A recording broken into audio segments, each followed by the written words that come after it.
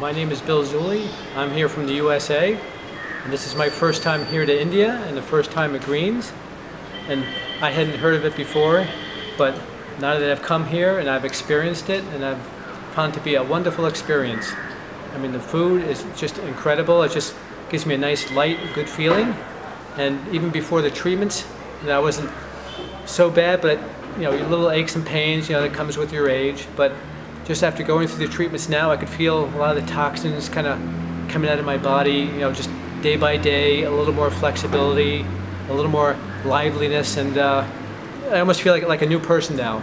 It's just been two short weeks, and I definitely say I'm going to be coming back again and try and make this an annual thing. I think it's a nice checkup, and it's good for your body, good for your mind.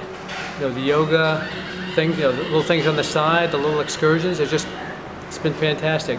Greens really does a good job. They really look after you, and they really make you enjoy your stay. Really great for the body. And thank you.